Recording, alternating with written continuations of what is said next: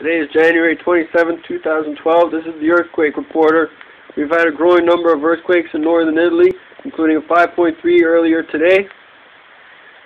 And off of the island of Crete in Greece, including a 5.2 yesterday. Please be advised there is a chance of a large earthquake in these regions or the neighboring countries in Europe. This is not meant to cause panic, but it's just a heads up to get your home and workplace earthquake ready. There are many steps you can take involving removing potential hazards like loose items that are hanging above your bed. Earthquakes can strike anywhere at any time, so everyone should start taking steps to ensure the safety of themselves and their families. A, there's a lot of informative information available online about earthquake safety. Again, there's an earthquake watch in effect for the Greek islands and northern Italy and surrounding regions. Thank you for watching. Have a good day.